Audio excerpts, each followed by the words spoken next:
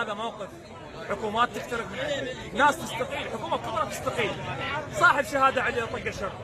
شرطة يطق صاحب شهادة عليه. وين هاي؟ بيا حكومه بيا بلد بيا كائنات. هذا من ينبق على ارضيه وبعدين أنت شواربك الكبرى تعتدي على مرأة عيب عيب. يا أستاذ يا وزير الداخلية لازم تحط موقف يعني يكون موقفك واضح من هاي الشغله لأن إحنا يعني إحنا كبصراويين اليوم ضامننا ويا البغداد ضامننا أصحاب الشهادات العليا وننتظر أهل بغداد يعني تسوي شيء، إحنا اليوم تجمعنا وناشطين مدنيين إسلاميين كل الكل الكل يعني رجعوا أصحاب ثوره 2018 انتفاضه 2018 راجعين متواجدين إحنا بكل كل فترة بكل أزمة راح نطلع لهم.